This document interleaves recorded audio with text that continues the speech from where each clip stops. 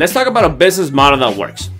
Take a look at this slide, focus on the right side first, on the traditional company, because a traditional company pays celebrities, TV, radio, billboards. That's how they promote their products, right? That's how they get retail to retail customers to come in and purchase, you know, whatever product they're promoting. Okay, that's great. That's awesome. We chose a different model. Okay, we chose word of mouth advertising. Okay, so we pay ordinary people like you and me to promote the products, and super cool. Because think about this for a second. Okay, someone in the past, a friend, family, someone came to you and told you about a product, about a service that you ended up using.